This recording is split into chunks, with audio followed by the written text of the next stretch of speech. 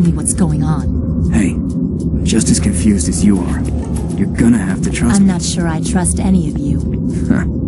Smart girl.